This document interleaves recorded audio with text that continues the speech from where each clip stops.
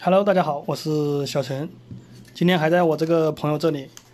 之前不是买了一块弗洛克的万用表嘛，很多朋友建议我买这个优利德 UT 六幺一嘛，今天刚好到这里。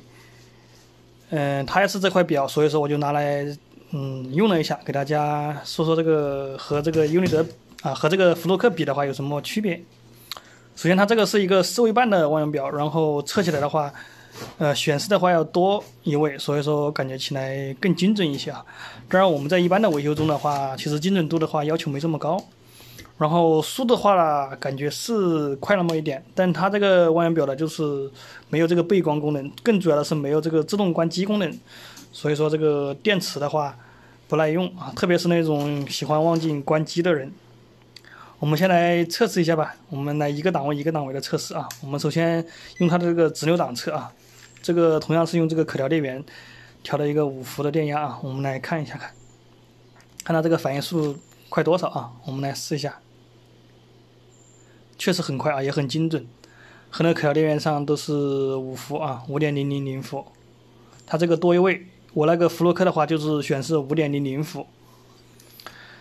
嗯，其实这个电压测的也就是这个样。我们来看一下这个在路啊，在这个板上测一些。呃，二极管或者是这个电阻看怎么样啊？我们打到二极管档测，我们测这几个整流桥啊，我们看一下，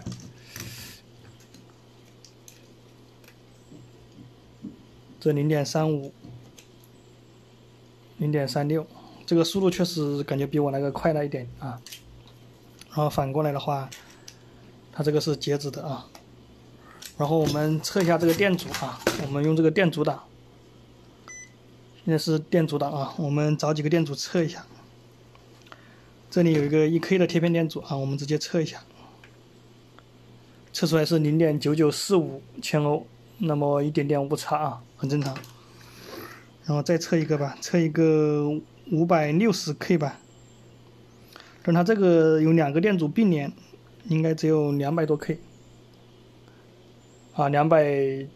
七十 K 啊，零点两零点二七兆欧嘛，两百七十 K，反应速度是比我那个快多了啊。我们再测一个四十七 K 的，四十六点七九 K。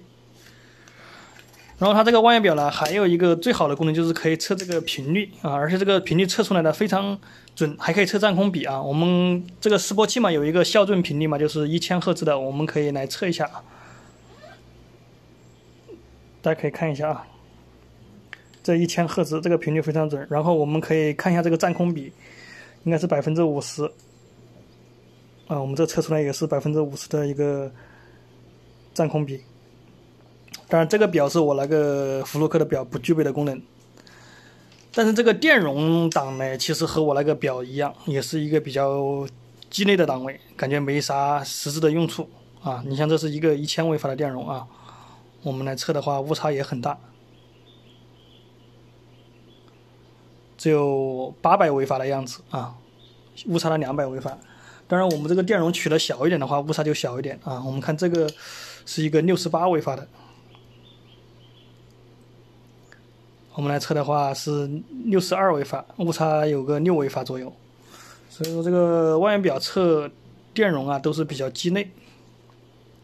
如果要用万要用一些仪器来测量电容的话呢，最好还是花点钱买一个电桥，那个是非常准确的啊。因为这个电容表测量电容的话，即使这个容量准确的话，也不能百分之百说明这个电容是好的。在最后呢，就是用了一下它这个拨盘啊，用起来的话还是比弗洛克的手感差一些。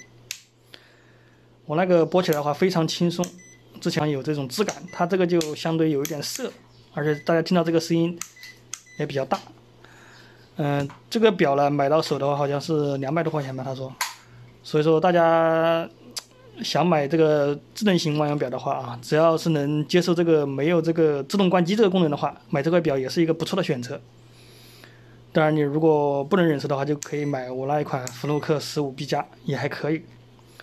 好，那么本期视频就跟大家分享到这里，喜欢我视频朋友点赞关注和转发，我是小陈，我们下期再见，拜拜。